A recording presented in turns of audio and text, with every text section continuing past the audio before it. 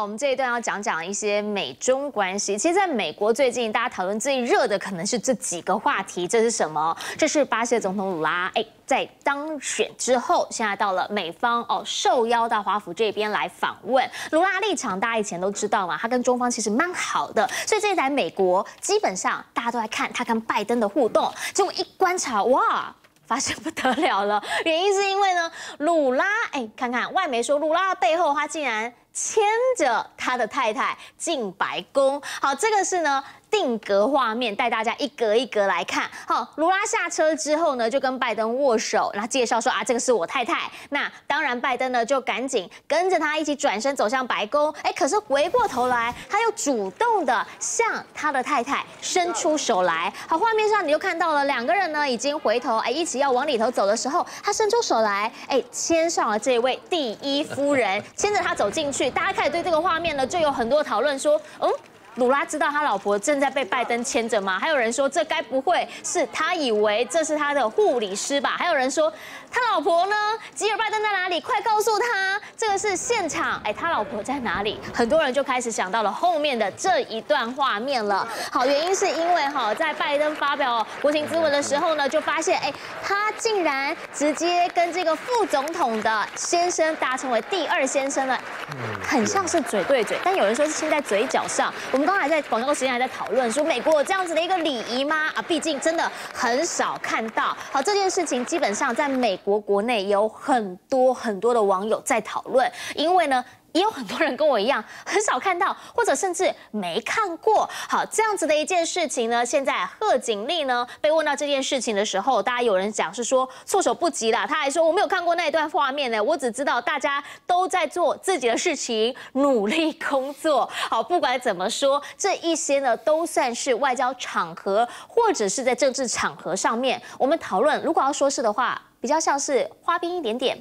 正式是什么？正式是现在在美国国家里头，他们正在讨论要不要提高他们的国债上限。好，这么一件事情呢，基本上这一件事情会牵扯到很多层面，包括了美中之间的关系。好，为什么会这样讲呢？原因是因为现在啊，虽然美中双方一直在炒气球，但很多人讲了，那只是一个幌子而已。关键在美债。为什么这么说？因为布林肯现在。因为这个气球，哎，说推迟去大陆访问，可是叶伦告诉你没有哦，我还是想要去，急着想去，为的是什么？为的是不是要谈美债这么一件事情？但你看到几个数字哈，美国呢这四个月来赤字增加了三点一兆，再这样算下去的话，它一年哦，一年借的钱会等于中国一年新增的 GDP 总量，哎，这个就有点感觉，对不对？再看一个数字，这个是美国的债务总额。已经达到了三十一点五兆美美元，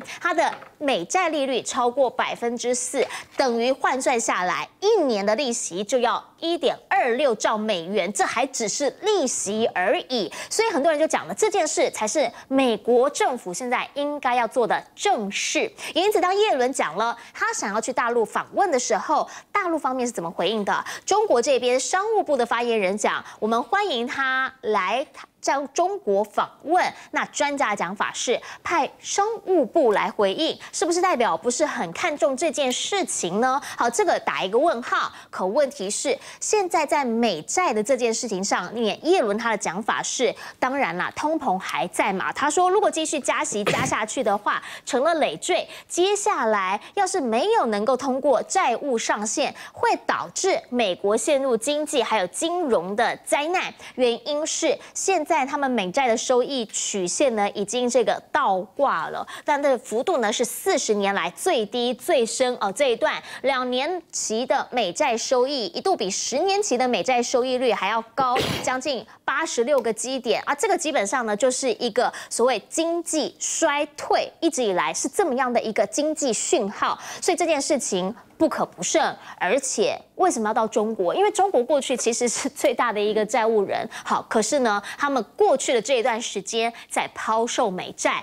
那现在呢，他们有要讲啦，说是不是把这些钱换去哪里？换黄金吧。二零二一年十一月，中方呢，他们曾经持有一点零八兆的美元美债，但现在呢，已经降到了八千七百亿。那这个中间的差异就是通通都卖掉了，换什么？换黄金。二零一九年开始，他们在增加了黄金的储备。到今年一月为止呢，他们的储量已经来到了六千五百一十二万盎司。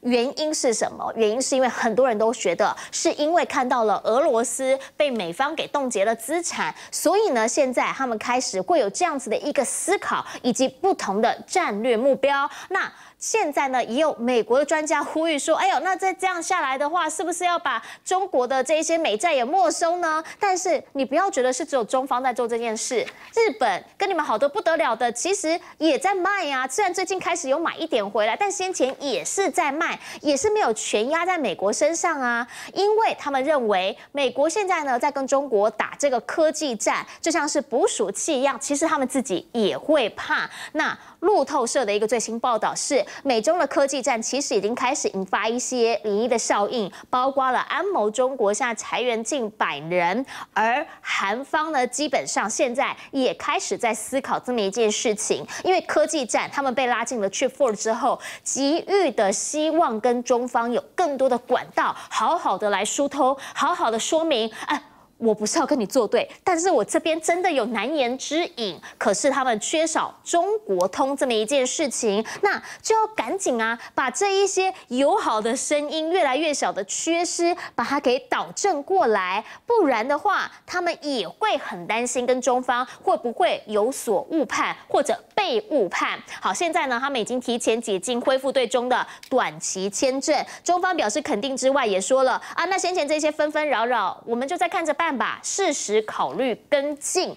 回过头来就要问到谢大使了。这样一连串看下来，美中双方现在呢，其实对美国来说，真正重要的问题应该是跟他们自己的债务问题有关，跟他们民生经济议题有关。但是当他诶，其实还是努力的，想要在外交场域上哦，毕竟拜登大家觉得老外交嘛，外交场域上想要开始来极力的挽回颓势的时候，找了南美的这一位鲁拉来，哎，结果这一牵手又把手给牵歪了。嗯，现在这个啊，拜登不但把世界搞搞得很乱啊，把我们的认知也搞得很乱，现在搞不清楚他们这个家族在搞什么东西啊，太太跟先生啊都搞得蛮蛮怎么都蛮脱线的啊，脱序啊。第一个，他这个又又暗算别人的老婆，对不对？上一上一次我记得他暗算别人老婆是美国密西根的州长，啊，他还是在他自己的老婆，就自己的这个哈第，他在自己老婆面前哈，就跟那个密西根的女性州长啊，公然哈。手牵手逛大街一样哈。后来有人说那个可能不是他太太，旁边那个红衣服那个可能不是他太太。哦，有几种说法，但是就是他确实伸手了，哎，顺手的就牵了女州长了。对，州长被他牵的哈，也好像莫可奈何了。嗯，这次又偷袭人家老婆，他专门偷袭别人老婆，很奇怪啊。这次又偷袭了鲁拉的老婆，对不对？那而且是趁着鲁拉的背面啊，这样子出手。对不对？这个这个做法的话，比陈时中还要更低级，你知道？陈时中还是在人家老公面前啊 签的，对不对？那那个拜登都是在人家老公的背后签的。这个啊，有的时候啊，什么事不过三啊，拜登这种事情已经搞太多次了。不过他太太倒是这次闹的事情倒是第一次啊，嗯，就公然跟这个副总统的先生哈，在大庭广众啊，那么。这种不是这种已经超越任何国家的礼仪的，这种礼仪从来没有男女之间啊，没有这种特别关系啊的公然这样子嘴对嘴的这样亲吻啊，嗯，法国也没有嘛。对不对？啊？欧洲也不知道哪，欧洲没有国家这样干的。没有没有美国更碰碰脸颊，碰脸颊，碰脸颊，那个是碰脸颊，也不是用嘴去亲人家脸颊。法国是脸颊碰，嘴巴出一个亲吻的声音，那不是用嘴去亲人家脸颊哦，那个嘴是不能乱乱亲的哦，这个哈。所以呢，美国人更没有这种亲的，美国人没有亲的礼仪啊。哎，我我我我我了解美国人，从来没有跟任我没有跟任何一个美国人。好像有这种女性来来亲的，所以这个又是跌破眼镜。所以我现在也每天我想不出来怎么回事，我只能只能从现象来分析，就是乱七八糟，不要再搞什么东西。嗯嗯。那另外一方面就是说，美元的问题很严重。嗯嗯。因为第一个，美国美元滥发以后哈，然后美国在不断的升息来这个救它的这个哈通膨的问题啊。让美国的啊散播在海外很多美元，尤其是美债哈，现在想有沉重的压力。因为你现在你美债的，你美国的这个 prime rate 一直往上升嘛，那你美债的利息也往上升嘛。这边讲得很清楚啊，哈，利率超过百分之，等于一年的利息就一点二六在美二六兆美元呢。这个这个这个简直是天文数字啊！我觉得我觉得叶伦这个这个财长怎么当得下去啊？他每天要去搞那一点四，一年要搞那一点二六兆去还利息。这个不要说是美国哪一个国家财政部长了，人家一般的那些财务长，那些民间公司的财务长，搞不好也要挂冠球去了，做不下去啊。嗯，这个太恐怖了。嗯，那另外为什么一定要找中国大陆呢？因为中国大陆除了还剩下八千亿、八千多亿美金的这个哈美债以外啊，还有三点一兆的外汇存底。嗯。外汇存底，他不会告诉你美元在多少，我就一半好了。啊，那也有一点一点八亿啊，啊。啊一点一点六亿吧，嗯，一点六兆美元，拜托啊，再再如果再卖个再卖个一兆的话，包括外汇存底的话，两个加起来卖一兆美元，那个拜那个耶伦，这个这个就要真的真的哈，美国。美国的政府会有很多部门要关门，因为现在它是内外交迫，外面怎么样？你要你要偿债啊，你要连本带利的还呐。另外一方面呢，你国内呢，你要怎么样？国内那个你要有共和党的这些众议员要同意提高债务上限啊。对，所以这个是内外交逼。所以叶伦去中国大陆很简单，基本上就是跟债主求饶。请你说，第一个，你不要再把我的债卖掉，嗯，哎，因为哈，你这个债我现在还你。第二个呢，就是啊，宽限期，我能不能哈，这个哈，明年哈少还一点。我将来有的再还你，嗯，这个就是常常这些财务长在外面跟银行的这些啊，银行的 桥债务啊，就是桥债务去的啊。那现在问题就变成中国大陆好了，你你中国大陆手上有一点五兆的话，嗯，那日本手上日本、韩国加起来，嗯，也有差不多，也有差不多一兆多，嗯，也有搞不好一点五兆啊。所以美国现在这个财政部长不好干。不好干。可是问题就变成是什么？这是第一个你自己本身的问题。第二个呢？现在大家不敢拿美元，为什么？美元，俄罗斯就是个例子。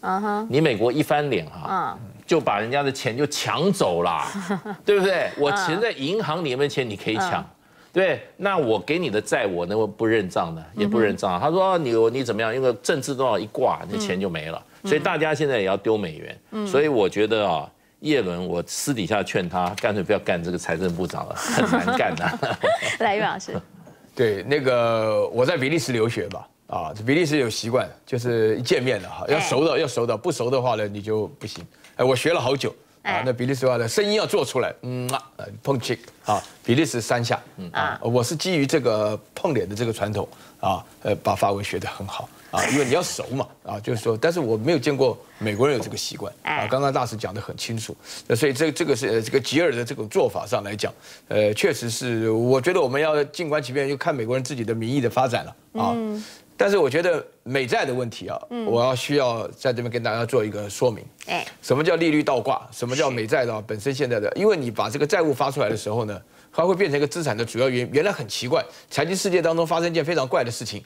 原来债务的事情的话呢，这个债本身可以变成资产，因为它产生的利息。嗯啊，所以说你这个这个债的，如果说是这个大家买的这个就抢着买的话呢，它的利息就低嘛。啊，就这样。但是如果没有人买的话呢，你只好调高利息，就是给给定利息。现在倒挂，倒挂什么现象？就是两年的两年期的债务，因为你照理说应该是存钱，存的越久利息越高嘛。它就现在倒挂，倒挂的意思就是说，存的这个越久，反而比这个当下这个美债的利息要低。那这个而且低的数字还不少，这个已经说明了一个重要的一个问题。这个问题也就是说啊，美国这个国家，不晓得大家对美国有没有印象啊？在我这一代人当中，美国印象，美国人就是大胆呐。因为为什么大胆？因为钱多。啊为什么钱多？钱大。美国这个立国有三样基础啊，就是这个美元、美军跟美国梦啊。美国梦现在快破灭了啊，不知道真假。美军的话本身的话太贵了，所以美元这个霸权对美国来讲啊，是美国最重要的一块基石。那耶伦现在不顾一切，也不管什么间谍气球啦，也不管什么中美贸易摩擦啦，也不管什么一大堆问题啊，通通要到中国去讲。只有一件事情，就是美债不要卖。为什么呢？因为中国本身在美元上的外汇存底以及美债来讲，都是世界最大户。如果中国这边能够稳得住的话呢，美元能够维持它。一定的币值维持它一定的价值，在这种情况下，通货膨胀可以解决，美国人可以继续做他的美国梦。另外，最重要的就是说，美国在世界各地的信用却是非常非常巩固的。所以，因为这个缘故的话呢，耶伦本身甘冒大不讳啊，一直强调我主动要去，主动要去。布林肯本身还找下台阶，说：“哎呀，不能再去了，因为你有间谍气球。”啊，事实上的话呢，大陆这边强调，那个外交部发言人毛宁说过，我们从来没有。讲过透露过任何信息，说也没欢迎过，但是这个叶伦就不一样了啊！这个你们讲明白的表示欢迎他来，为什么欢迎他来呢？这个时候我们要特别小心啊，因为我们就我们要特别注意，因为我们台湾现在这个赖清德说以美论都不可以嘛，我们那个只抱美国一条大腿，不管美国有几条大腿，我们只抱一条，就是唯一的那一条。所以说呢，在这样的抱大腿情况下，如果我们抱了大腿的上半身，它是需要大陆的话。那会不会拿我们当条件呢？你不谈没关系，人家美国跟中国谈了，你本身就没有立场。像王定宇啊，什么什么什么陈廷飞这些人，敢不敢骂美国呢？啊，为什么骂美国需要？我告诉大家，所有的问题啊，这是笨蛋，经济经济是最重要的。你讲其他都没有用。美国人本身要维持自己的霸权，美元的霸权。其他像韩国、日本也都慢慢看开了，他们发觉跟着走是没有什么价值的。因为最主要的这个世界上要比的是经济。嗯，来，大钟老师。那我也非常同意啊，就是你看布林肯说他不去，对，可是耶伦就说他要去，非常希望去，是希望能够延续今年一月份他跟刘鹤的一些谈话。这代表什么？我觉得反映出目前的美中关系啊，可能不像很多观众所认为的非黑即白，它其实是一个光谱。美中现在是高强度的竞争哈，但不代表说不打交道，嗯，或是说双方老死不相往来，没有。所以这就是为什么我们会说啊。互相会吵架，但是大家都知道，说我还是没有办法完全脱离到对方，其实现在就是这样的困境。那我觉得是目前比较糟糕的地方是政治互信真是很低，非常脆弱。那基本上美国尤其是国会还是一个这个对中强硬，还是一个。很明显的一个政治正确，因为它最安全。嗯，尤其要有一个内部的政治需求，对中强硬是比较安全的路。意思是说，哈，美国的光谱我觉得有改变，就是现在在呃国会里面还比较中庸派的，或是拜登政府里面还会认为说应该跟中国大陆打交道的这些人，在十年前、二十年前是所谓的这种立场是所谓的鹰派哦，但现在已经成为中间派。那现在所谓的真正对中的鹰派，在十几二十年前，他所这些立场是完全不可想象的。嗯，这就反映出目前美中关系一个很严重的现实。但是呢，与此同时，我们可以知道，双方并不是只有这种你你来我往而已，在经贸上面没有办法，还是高度的依赖啊。二零二二年美中的这个贸易总额，双方双边还是六千九百亿。嗯，他。甚至超过说，在川普打贸易战之前，比他还高，是历史的高点。那这代表什么？意思是说，即便是拜登非常强硬啊，科技的保护主义。啊，虽然不讲脱钩，还是在脱钩，但是美中之间状况就如同所看到的，嗯，大概谁都没有办法离开彼此，但是会吵架，会长期的战略竞争。我觉得这是台湾要看得很清楚的地方，不是只有黑和白而已。嗯，不是只有黑跟白而已，美中之间，你看他们吵得那么严重，他们也没到那个鱼死网破的地步，也没到老死不相往来的地步，所以我们是不是也应该思考一下？广告回来带你来看到，不管。双方关系是怎么样？人道主义是不是依旧应该至上？我们先进广告。